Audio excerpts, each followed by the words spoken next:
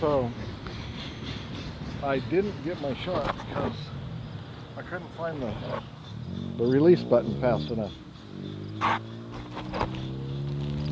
So I didn't get the front of the train.